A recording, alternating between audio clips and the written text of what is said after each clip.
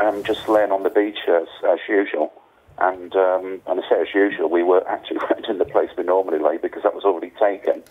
And lo and behold, we heard what we thought, thought at first was fireworks, but it was soon pretty obvious that it wasn't fireworks, that it was firearms that were being discharged, and people screaming and, and starting to run um, from along the beach towards us. And um, me and my friend, we just said, you know, that's guns, let's go. And we shouted to everybody around us who joined the sort of mass rush from the beach, uh, people running in all directions. And we ended up in the, the spa area of the hotel where we sort of tried to organise people to get themselves um, concealed from uh, away from windows, got the staff to lock all the doors. And um, we stayed there until we started to see armed uh, police officers on the site um, and waited until we were told it was safe to come out. Uh, and which hotel are you in? We're actually in the Imperial Marhaba, which is the hotel where all of the fatalities are. So uh, you're obviously in a separate part of it?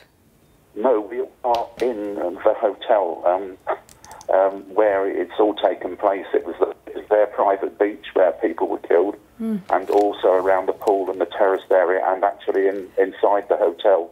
Um, is it is it overnight, Steve? As far as you're concerned, do you know? Yeah, I mean, it's uh, the place has been completely locked down now by the military and um, a lot of armed police officers, and uh, well, everybody, the majority of people have, have gone to their rooms and um, leaving the, the authorities to actually get on because obviously it's a massive crime scene for them to deal with.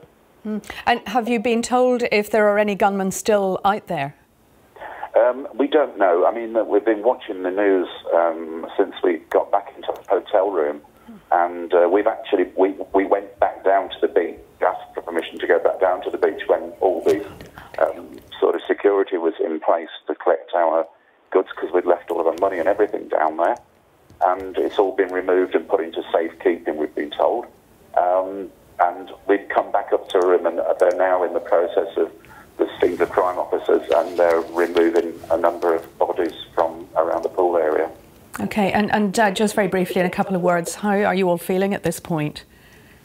Um, we feel quite relieved, but also feel quite um, sad for the. I mean, there's obviously a lot of people that have lost loved ones, and uh, I don't know what sort of state they're in. I mean, it, it was just horrific, really.